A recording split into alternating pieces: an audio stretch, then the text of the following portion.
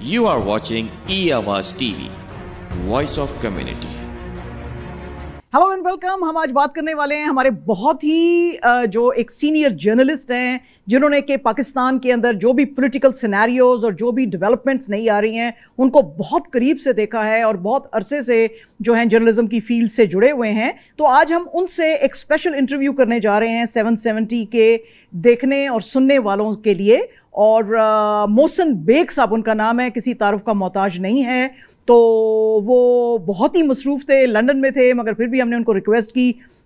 कि हमसे बात करें and we are extremely grateful कि वो हमसे बात कर रहे हैं। तो हम उनसे डिफरेंट इश्यूज़ पे पाकिस्तान के खास तौर पे जो अरशद शरीफ साहब का जो जर्नलिस्ट सीनियर थे, जिनकी अभी डेथ नाइजीरिया में हुई थी, उस सिलसिले में बात करेंगे।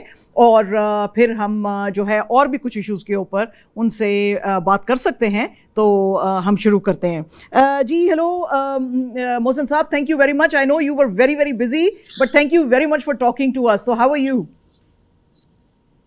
no problem ji I'm thanks. I'm okay uh, बहुत शुक्रिया जी अ, अच्छा सर ऐसा है हम शुरू कर लेते हैं अरशद शरीफ साहब के जो अभी केस हुआ है।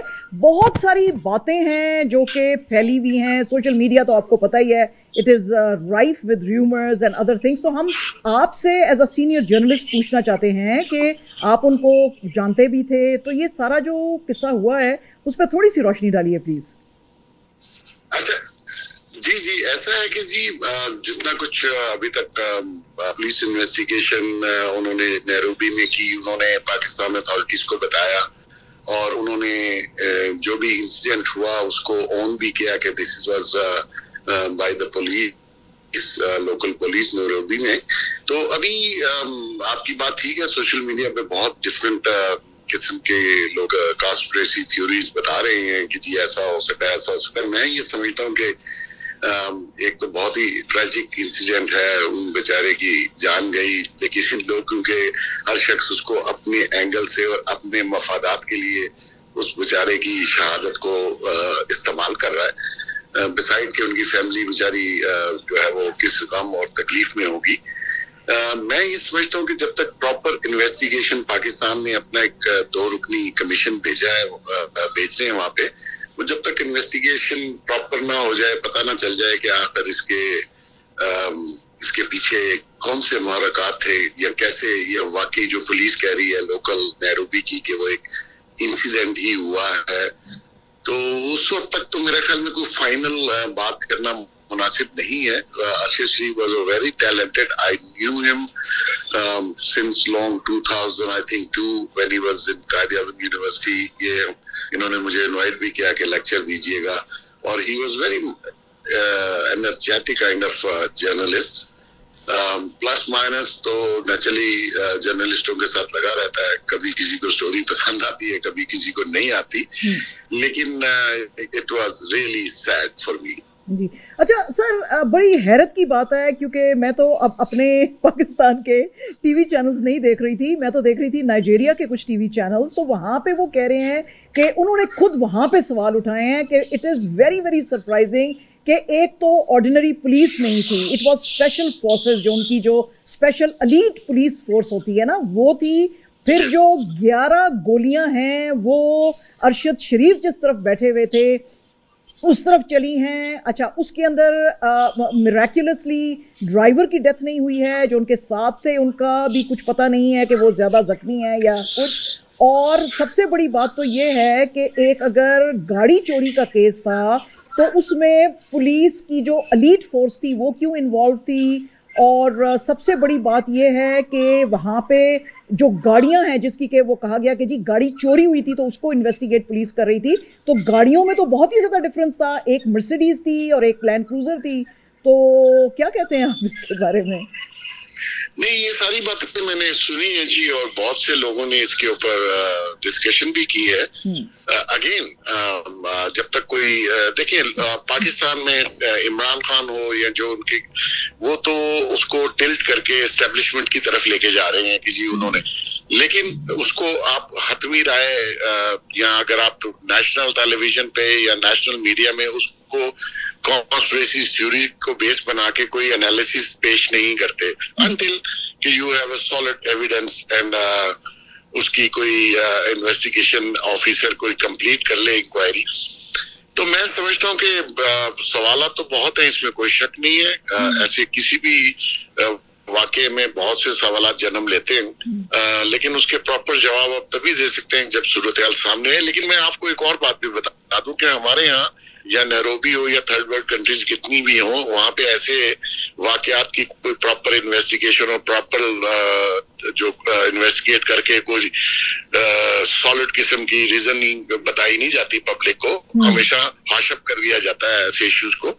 अब गार्ड नोज़ के वहाँ पे पुलिस कितनी एफिशिएंट है मैं तो कभी गया नहीं। और हमारे यहाँ तो पुलिस आपको पता ही है, ऐसे इंसिडेंट तो पाकिस्तान में बहुत हुए और जिनको आशा किया, बंदे थोड़ी देर के लिए सस्पेंड करते हैं और बंदे दो महीने बाद वापस दे आर ऑन ड्यूटी और वो एक जगह से ट्रांसफ़र होते हैं, दूसरी जगह चले जाते हैं। कोई सॉलिड उसका नहीं होता कि इनको एग्ज़ाम्पल बनाया जाए इन पुलिस ऑफिसर्स को, लेकिन कभी हुआ ही नहीं ऐसा। अच्छा सर, आपकी ये थी कि बहुत लंबी एसोसिएशन चुके हैं जर्नलिज्म के साथ, ये जो पुलिस रिफॉर्म्स हैं, ये क्यों नहीं होते हैं और क्यों अपना जो जुडिशल सिस्टम है वो सही काम नहीं करता है? क्योंकि हमें याद है कि आप जैसा सीनियर जर्नलिस्ट जो है, उसके भी घर में पुलिस बस घुस गई और अपेरेंटली उन्होंने बदतमीज़ी भी आपसे की। तो ये अब जो सारी चीज़ें हैं, ये इनके ऊपर, वैसे तो हम बहुत आवाज़ उठाते हैं कि जी ये भी होना चाहिए और वो भी होना चाहिए और हर गवर्नमेंट कहती है, मेरे से बड़ा डेमोक्रेट कोई है नहीं। तो ये चीज़ें क्यों सही नहीं हुई हैं? और अपनी भी जो आपके साथ अनफॉर्चुनेट वाक्य हुआ, उसके भी ऊपर भी थोड़ा सा हमें बताइए। आप देखिए जी कि पाकिस्तान में इमरान खान जब निकला, ये बिल्कुल ही कभी पावर में आना इसके लिए बहुत मुश्किल था। हम, मेरे जैसे और भी बहुत लोग थे जिन्होंने इसको सपोर्ट किया, इसकी पार्टी को बेहतर किया। उसकी वजह सिर्फ़ यही थी कि स्टेटस को खत्म किया जाए रिफॉर्म्स लाई जाए जुडिशरी में पुलिसिंग में आपके जो लॉज हैं, वो इतने दकियानूसी हैं कि उनको अपग्रेड किया जाए for the young generation for the future generation और वो सारी चेंज लाए तो Imran Khan was on board लेकिन जैसे ही वो प्राइम मिनिस्टर हाउस पहुँचा he was like the same other people other rulers and other political leaders उसने भी वही काम शुरू कर दिया। उसने भी जुडिशरी को अपने लिए इस्तेमाल किया। उसने पुलिस को अपने लिए इस्तेमाल किया। अदारों को उसने कमज़ोर करना शुरू किया और उनको गैर कानूनी ऑर्डर शुरू कर दिए। और किस तरीके से ब्लैकमेल किया? नैब के चेयरमैन को। नैब का chairman was a dirty man लेकिन उसकी जो वीडियो थी उसको अपने हक में इस्तेमाल किया अपोनेंट्स को पकड़ना शुरू किया फेक केसेस बनाने शुरू किए। व्हेन आई रेज वॉइस कि ये आप नहीं कर सकते आपने वोटर्स को अपने सपोर्टर्स को धोखा दिया है। तो then he turn on me और आप देखिए मेरे घर में 300 पुलिस वाले बगैर वारंट बगैर एफ़ बगैर एनी जुडिशियल ऑर्डर घुस गए। और uh, जो हुआ वो आपके सामने है। आज मैं अभी बीबीसी को इंटरव्यू दे रहा था दिन में तो उसने भी ये मुझसे पूछा मैंने कहा registered six cases against me all over Pakistan in two three hours और जिसका कोई बेस ही नहीं था। और एक सेकंड में उन्होंने केसेस रजिस्टर करने शुरू किए और धड़म धड़म धड़म। और उसके बाद, अब आप मुझे बताइए कि पाकिस्तान में ये चेंज लाएगा कौन? एक शख्स पे आपने बिलीव किया, उसने कौम को मायूस किया, वो फिर पब्लिक को वही किसे सुना रहा है। फिर झूठ बोल रहा है, फिर गलत बयानी कर रहा है, फिर लोगों की हाइप्स जो होप्स है उनको हाई कर रहा है। हालाँकि पौने चार साल, साढ़े तीन साल गवर्नमेंट में रहा, एक काम ऐसा नहीं है जो ये पब्लिक को बता सके तकरीरों में कि मैंने ये किया। अभी भी फ्यूचर की बात कर आऊँगा, करूँगा, लूँगा, दूँगा, ये तो फ्यूचर की बातें तो मतलब मुझे भी आप छोड़ दें मैं भी सारा दिन झूठ बोलता रहूँगा और पब्लिक को अपने साथ करने के लिए हर वो झूठ बोलूँगा जो पॉसिबली पाकिस्तान में इंप्लीमेंट नहीं हो सकता। तो मायूसी है मतलब इस, इसने एक्चुअली जो जुल्म किया है इमरान खान ने वो लोगों की उम्मीद तोड़ी है। और अभी जो लोग इसके साथ हैं मैं हैरान हूँ। मतलब आप देखिए सोसाइटी को कैसा पोलराइज किया इसने कि जो पंद्रह, सोलह या अठारह साल का बच्चा जिसका अभी वोट नहीं बना, वो माँ और बाप को कह रहे हैं कि इमरान खान को वोट डालो, जिसने पूरी दुनिया नहीं देखी और माँ बाप मजबूर है उसकी सपोर्ट करने के लिए और बीवी जो कभी बाहर नहीं गई, कोई घर के अखराजात में उसने पार्टिसिपेट नहीं, वो हस्बैंड को कह रही है, तुम वोट दो। तो जब हालात बच्चे बाप को कहेंगे, ये करो तो फिर उस सोसाइटी का तो अल्लाह ही हाफिज होता है और वो हमारे यहाँ हो रहा है। और आप देखिए, उसने आज हमारी इकोनॉमी थोड़ी सी बेहतर हुई चाइना के साथ सी पैक दोबारा ऑन रोड है उसने लॉन्ग मार्च शुरू कर दिया। Because he don't want to to Pakistan be political stabilise तो वो डिस्टेबलाइजिंग की तरफ़ है। वो, ये सारा जो था, वो ने फैलाया। अब उसको चैन नहीं आ रहा। वो चाहता है मुझे हर सूरत आप प्राइम मिनिस्टर हाउस में बैठाए। और ये लॉन्ग मार्च वो समझता है कि मैं लाऊँगा और मैं सीधा पीएम हाउस जाके बैठ जाऊँगा। तो फिर भाई इस जमहूरियत का क्या आपके पास 123 सीटें थी, आप पार्लियामेंट में नहीं बैठे। और फिर आप बाय इलेक्शन भी लड़ रहे हैं। और फिर आप कहते हैं, फ्रेश इलेक्शन कराओ। तो मकसद ये कि इतनी कंट्रोडिक्शन है, इतनी मुनाफत है हमारी में कि आप मतलब क्या बंदा के कुछ कर नहीं सकता। अच्छा अच्छा सर ऐसा है, मैं आपकी बिल्कुल बात की, बड़ी आपका अपना पॉइंट ऑफ़ व्यू है और बड़ा अच्छा है। मगर मैं सिर्फ़ ये कहना चाहती हूँ कि सर, ये जो खान साहब के ज़माने में जो वर्ल्ड फिगर्स आ रही थी और नॉट फ्रॉम पाकिस्तान जो वर्ल्ड बैंक बोल रहा था या दूसरे अदारे कुछ बोल रहे थे कि ग्रोथ जो थी इकोनॉमिक ग्रोथ जो है, वो तो 5.9 परसेंट पे हो रही थी, जिसके बारे में अब इसहाक डार साहब कह रहे हैं कि सिर्फ़ 2 परसेंट तक हम कर सकेंगे। फिर वो जो अभी एफएटीएफ से बाहर पाकिस्तान को निकाला है, उसमें क्लियरली उन्होंने कहा है कि पिछले चार साल में पाकिस्तान ने बहुत अच्छा काम किया है।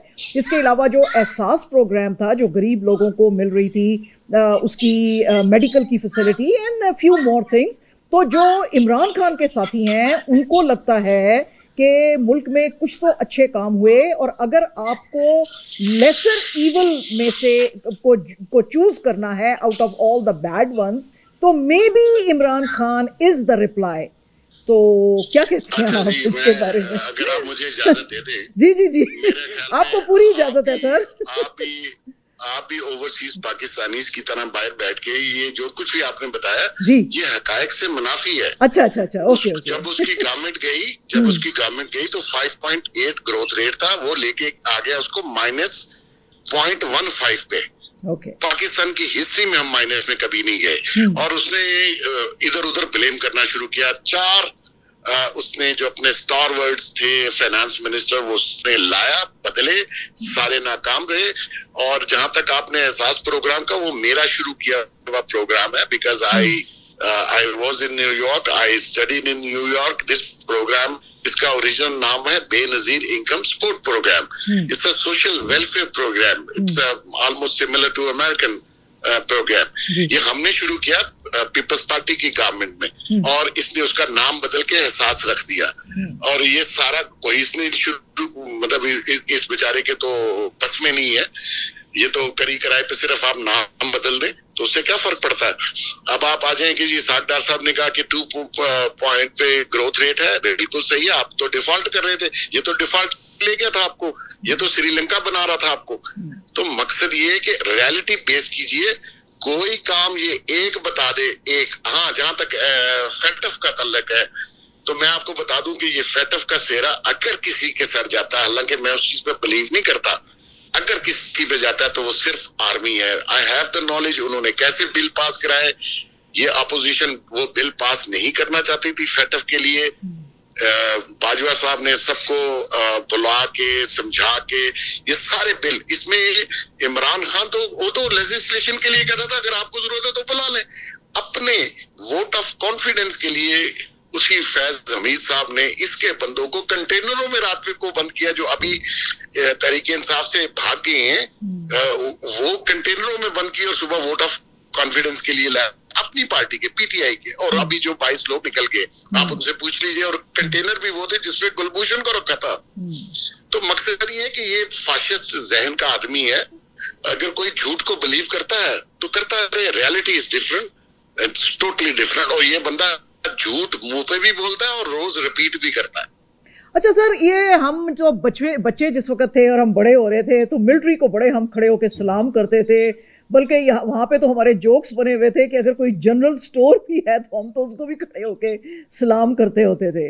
तो मिलिट्री जो है उसका भी बड़ा एक ज़ाहिर है कि अपना एक रोल है और हम तो ज़ाहिर है कि मिलिट्री से बड़ा हमारा प्यार है और हम आ, जो है उसको बैड नेम नहीं दे सकते हैं बड़ी उनकी सेक्रीफाइसेस हैं ख़ासतौर पे जो हमें धकेल दिया गया था अननेसेसरली वॉर ऑन टेरर पे उनकी उन पे बहुत ज़्यादा सेवेंटी थाउज़ेंड हमारे सोल्जर्स की डेथ हुई और इतना कोलेट्रल नुकसान और इवन जो ऑर्डिनरी सिटीजन्स थे उन्होंने भी बड़ी प्राइस पे की। इस वक्त मिलिट्री के खिलाफ एक बड़ा सोशल मीडिया के ऊपर हीटेड जो है वो आ, है एक माइंड सेट है सेंटिमेंट है। तो ख़ास तौर पे जो बाजवा साहब हैं तो और उन्होंने कहा भी कि जी हमारा कुछ सियासत ताल्लुक़ नहीं है जिसमें कि कमेंट्स आए कि जनाब मिलिट्री का तो ताल्लुक होना भी नहीं चाहिए you should be under the civilian rule तो ये आप क्या बात कर रहे हैं? तो इस पर कुछ रोशनी डालें कि क्या ये जो सेंटिमेंट इस वक्त मुल्क में है मिलिट्री के अगेंस्ट ये ठीक है या नहीं है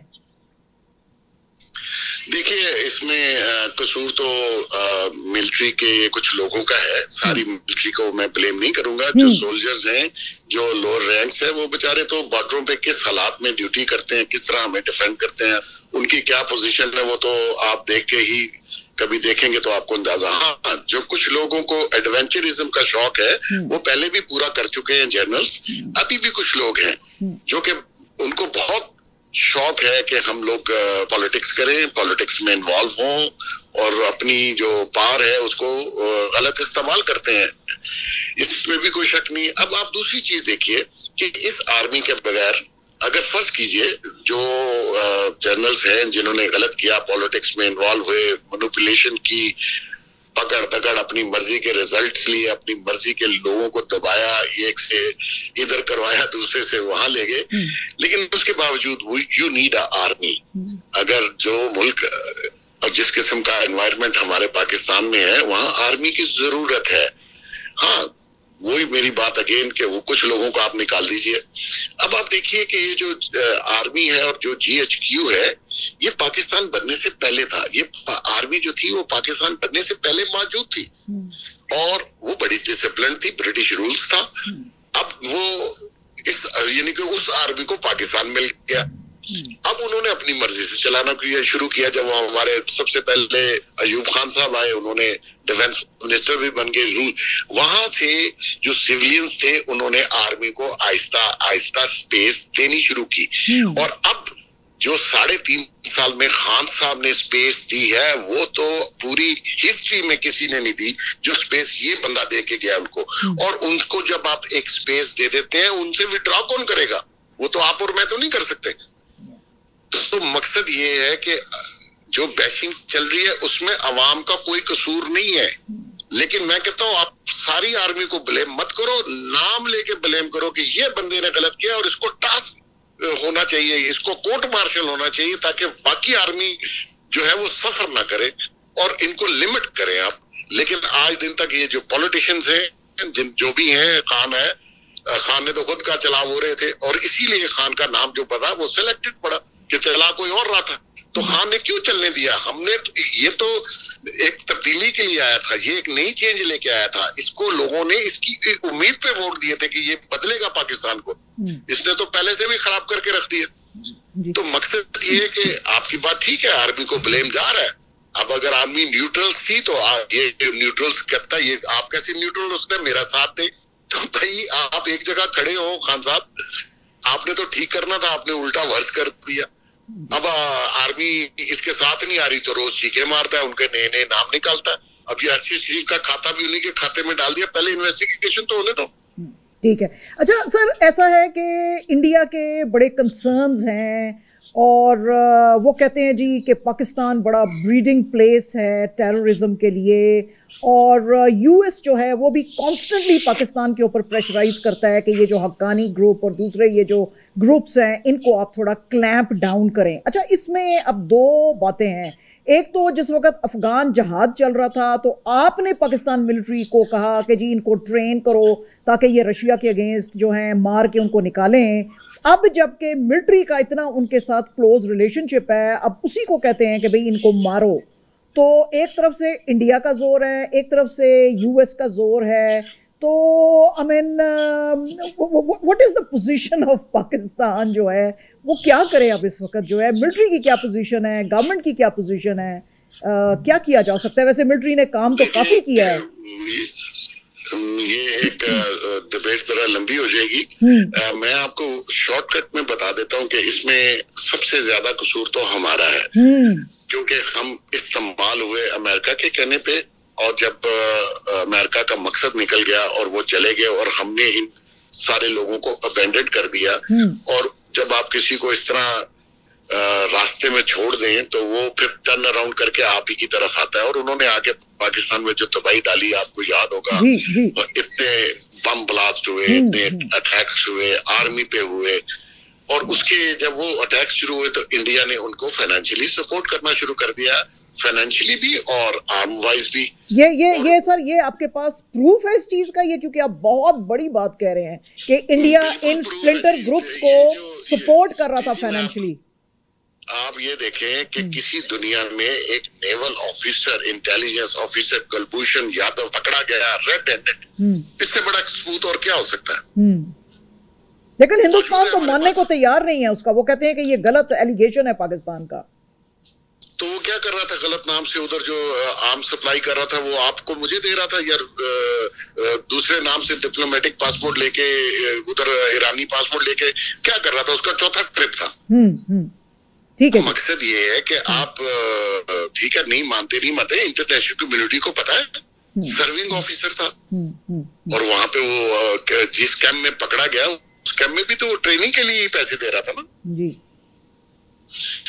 तो anyway this, this is a long debate. We will inshallah have some other time. अगर आप मुझे इजाज़त दें तो मैं कहीं खड़ा हूँ so I can complete your show.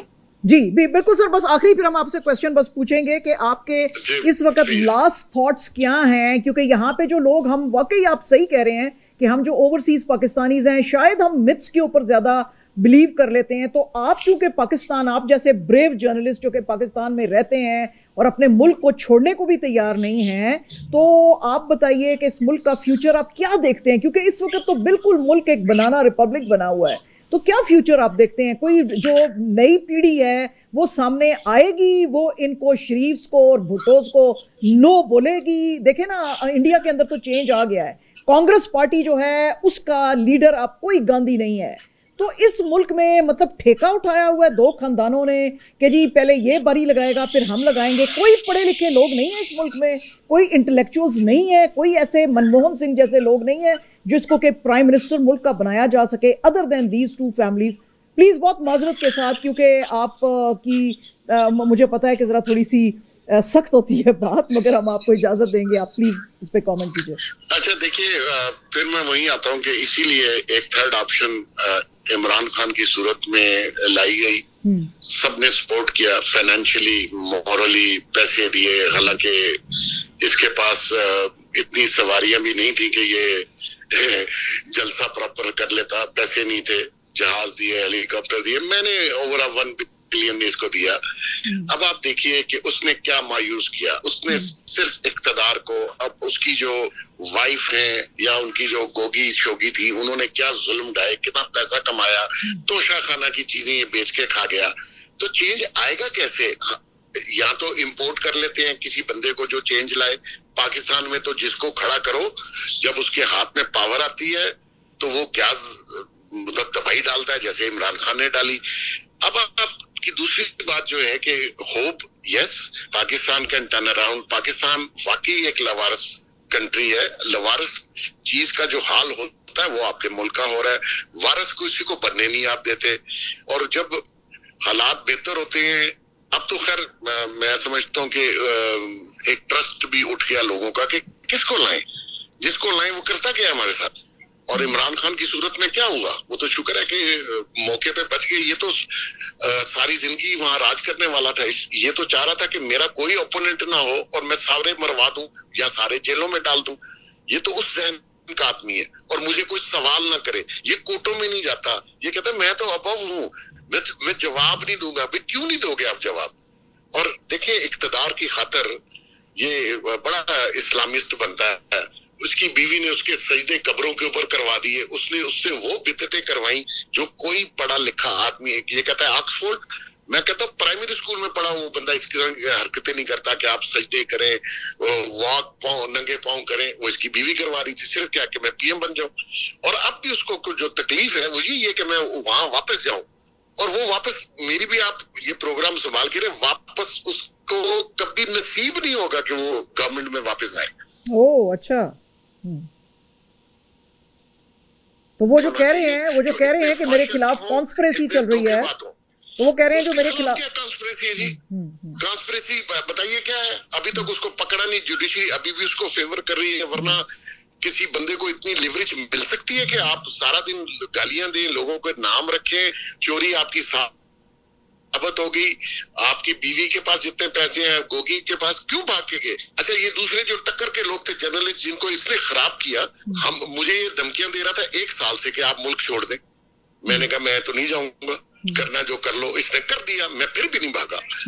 इसने छह केसेस बनाए मैं एक माह जेल में रहा मैं फिर भी इसको फाइट किया। और मैंने कहा मैं आपकी हुकूमत भी नहीं रहने दूँगा अल्लाह के फजल से। हम्म, तो ये देखें पॉलिटिक्स सिर्फ़ पॉलिटिक्स से हो सकती है। आप मेरे ऊपर केसेस बना के मुझे नहीं डरा सकते। आप मेरे ऊपर फौज और पुलिस डाल के नहीं मुझे डरा सकते। मैं हैरान हूँ कि अरशद शरीफ ने मुल्क क्यों छोड़ा। वही रहना चाहिए था। आपको देखें प्रॉब्लम ये नहीं होती कि आप प्रॉब्लम से भाग के तो दूसरे मुल्क प्रॉब्लम खत्म होती है फेस करने से। भागने से अगर खत्म होती है तो मैं भी भाग जाता कहीं। मैं तो पूरे केस अभी भी लड़ रहा हूँ। मेरी आज भी कोर्ट में डेट थी वहाँ पे। तो मकसद ये कि ये चीज़ें it's a long debate but इंशाल्लाह पाकिस्तान हैज़ 22 करोड़ पीपल उनकी दुआएँ हैं ये एक, एक दिन इंशाल्लाह इसको लीडरशिप भी मिलेगी और ये जो फ्रडी हैं ये- ये जिन सारों का आपने नाम लिया इनका आहिस्ता आहिस्ता सफाया होगा अल्लाह ने चाहा तो Thank you very much, Mohsen Saab. We are Thank you, extremely Thank thankful to you. for your time. You are extremely busy in London, लेकिन फिर भी आपने टाइम हमारे लिए निकाला Thank you, हमसे बात thank you, की thank you, हम thank बहुत you. शुक्रगुजार हैं सर हम फिर आपके साथ कनेक्ट करेंगे but we wish you all the best thank you thank you You are watching eAwaaz TV, Voice of Community.